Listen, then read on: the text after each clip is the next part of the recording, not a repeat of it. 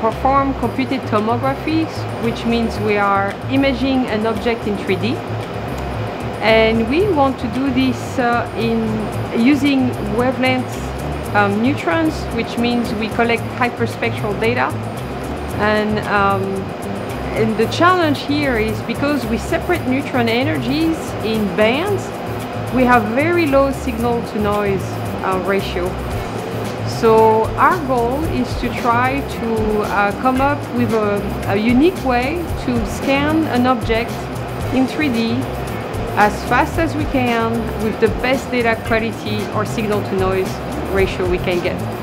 So to do this we're utilizing a pretty um, unique setup with two goniometers sitting on the rotation stage and we have a completely autonomous loop that controls um, the acquisition times, orientation of the, the object, and, and what happens next.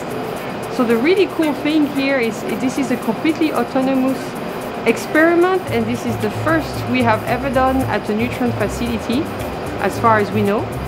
And uh, we are using both um, advanced reconstruction methods and artificial intelligence um, machine learning capabilities we use advanced reconstruction methods because our signal to noise is low and we use machine learning to decide what angles should be measured next and how the sample should be oriented and this is done completely in an autonomous way. So we have developed the um, loop, the feedback, automated feedback loop and we are in the process of uh, implementing the artificial intelligence uh, capability at the beamline.